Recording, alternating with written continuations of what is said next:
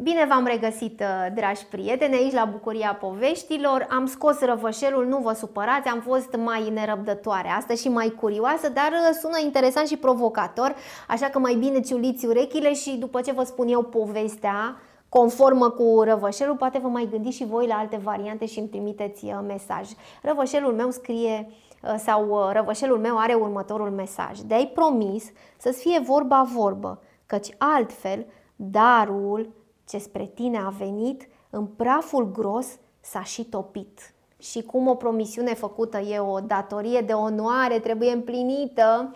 Așa am învățat eu de când uh, eram mică. Clar, dacă ți-asumi ceva și promiți, ar trebui să te ții de cuvânt. Și Năsturel are dreptate cu răvășelul lui, eu îi dau dreptate. Voi, sigur, puteți aveți reținerile voastre, dar vă zic și poveste. Au fost odată trei frați foarte săraci.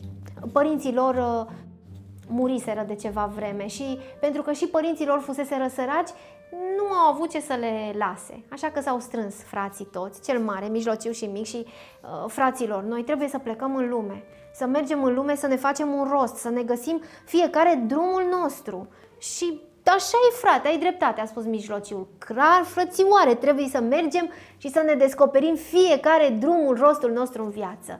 Dar nu prea avem uh, de aleguri prea mult. Nu contează, uite, luăm uh, pita asta așa uscată cum e și ne om descurca noi pe drum și apoi o mai munci, mai găsim noi ce să mai mâncăm. Și au mers.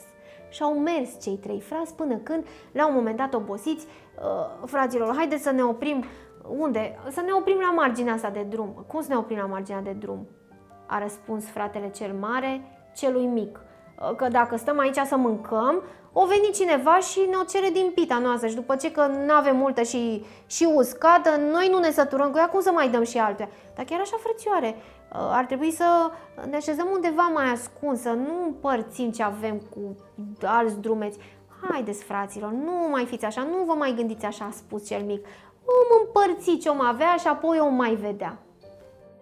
Au fost de acord și ceilalți doi frați, s-au așezat la margine de drum și pe când mâncau din pâinea cea uscată, apare un bătrân. Fie vă milă, zice bătrânul, nu vreți să-mi dați și mie o bucată, un colț din pâinea voastră?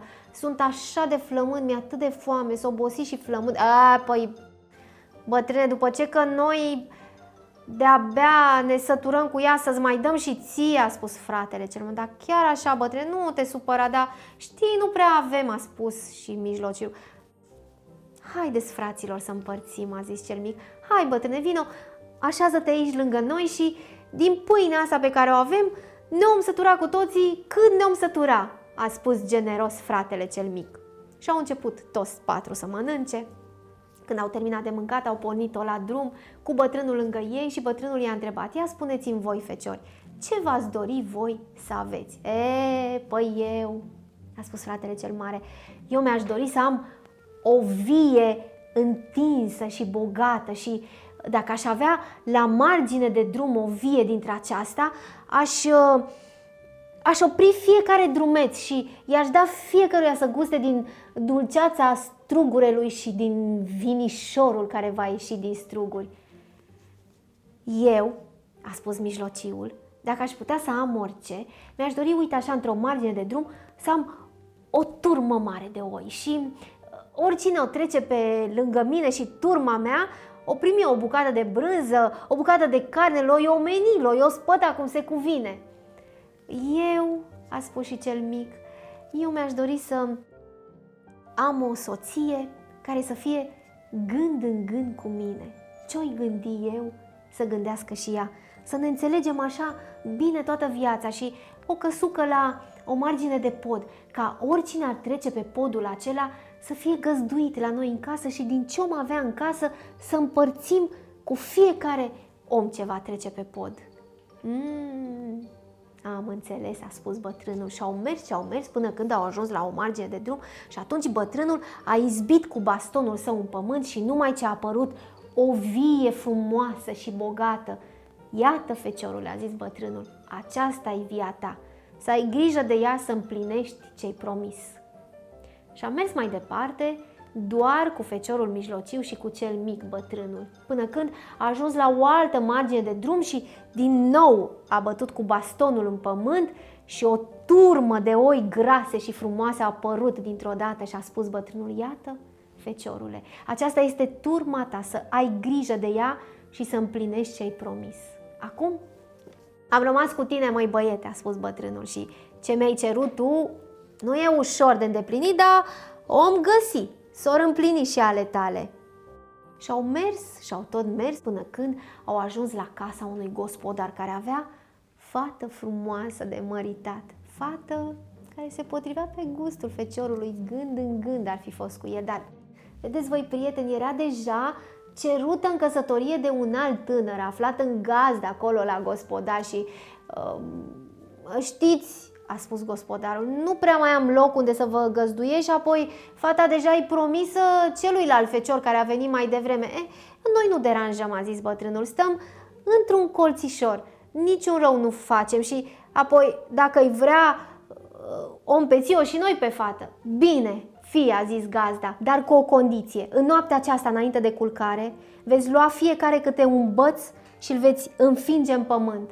Și al cărui băț va da vreun semn, acela va fi logonicul fiicei mele. Așa că seara, înainte de culcare, cel din tâi pețitor a rupt un băț plin de sevă dintr-un copac, a săpat o groapă și a înfipt în adâncul pământului bățul. Bătrânul a luat bastonul lui, care era din lemn uscat, și l-a înfipt în pământ fără să sape groapă, căci fiind bățul așa uscat, nu mai avea nevoie să se străduiască foarte tare. A doua zi de dimineață, când s-au trezit, minune mare. Bățul celui din tâi logodnic era uscat cu totul, nici o schimbare. Dar bățul pe care îl băgase bătrânul în pământ înflorise.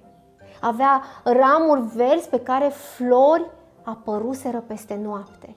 Și atunci gazda și-a dat fica după feciorul cel mic, iar bătrânul Știți, a spus o vorbă înțeleaptă celuilalt pețitor care, plin de el, îl avertizase pe bătrân că fata deja e luată. Măi, băiete, să nu te spui că ești însurat până când nu te-i vedea cu fata acasă. Acum s-a întâmplat, s-a întâmplat. Timpul a trecut. După ce bătrânul a mers și cu tânărul, cu cel mai mic dintre feciori și cu aleasa lui și le-a așezat pe o margine de pod, o casă frumoasă și toate cele necesare, a plecat bătrânul. Și timpul a trecut. Vreo doi ani, spune povestea, până când bătrânul, împreună cu un însoțitor al său, au pornit-o din nou prin lume să vadă ce fac cei trei feciori. Și s-au oprit mai întâi la feciorul cel mare, via frumoasă, bogată, îmbelșugată și s-au întâlnit cu feciorul cel mare dar ce faci, flăcăule? Oare ne-ai omenit și pe noi cu o boabă de strugure și cu un pahar cu vin, cu o cană cu vin dulce și gustos? E, păi dacă ar fi să dau așa la fiecare trecător care vine pe aici, eu cu ce aș mai rămâne? Așa că mergi mai departe, că n-am să-ți dau. Ah, n-ai? Atunci fie. Pământul să fie cum a fost înainte. Și-a bătut bătrânul cu bastonul în pământ și via a dispărut cu totul. Și pământul, uscat cum fusese înainte, a devenit a mers mai departe, la fiul mijlociu. Turma de oi, sănătoase, grase, frumoase, bună să fie inima, flăcăule, dar uh, ce zici, omenești și tu doi drumeți cu o bucată de brânză și uh, cu o bucată de carne, că suntem obosiți și după drum. Eh, omenesc, omenesc așa pe fiecare care trece pe aici, pe dacă aș omeni pe fiecare care trece pe aici, eu cu ce aș mai rămâne? Mm, așa. Fii atunci, a spus din nou bătrânul și a bătut cu bastonul în pământ și oile au dispărut toate.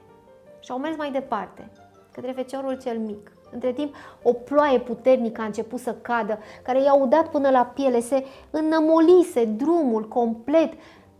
Și în tot timpul acesta, feciorul cel mic stătuse la margine de pod să pândească, să vadă dacă nu cumva vreun trecător ostenit și udat până la piele va apărea să-l ia, să-l aducă în casă, să-l omenească, să-l îngrijească și n-a apărut nimeni. Iar el, bietul, a obosit și s-a pus un pic în casă la odihnă, lăsându-și soția să stea de pază în cazul în care cineva ar trece pe acolo.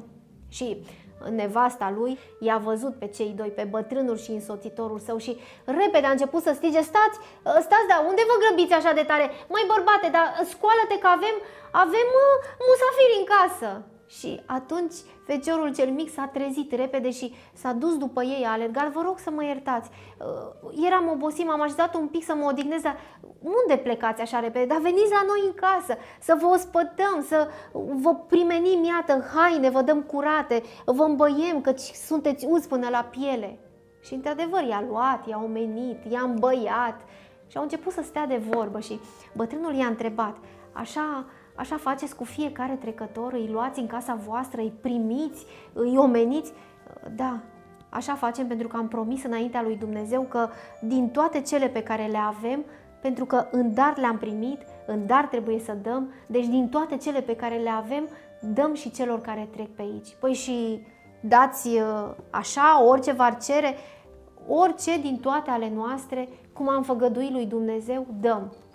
Și atunci bătrânul i-a pus la încercare. Apoi, pe atunci eu, eu aș vrea și în momentul acela, în cameră, a pătruns un pruncușor, mititel de un anișor și ceva, primul prunc al celor doi tineri căsătoriți. Aș vrea să îl mănânc pe pruncul acesta. Să-l mănânci? Să-l mănânci? Au întrebat și fiul cel mic și soția acestuia. Și stând ei gândindu-se și au spus în, într-un glas, noi am făgăduit lui Dumnezeu că dăm din toate cele ale noastre. Și acum ce facem? Nu putem să ne încălcăm făgăduiala ca nu cumva vreodată Dumnezeu să ne tragă la răspundere pentru să facem, au spus ei. Fie, i-au spus bătrânului, iar bătrânul a luat pruncul, îl iau eu și îl duc în cuptor. A luat pruncul și l-a băgat în cuptor. Și au stat, și au stat. Au stat vreo oră și ceva. Ă, mergi, femeie. Acum poți să mergi să aduci pruncul. Cred că e deja făcut.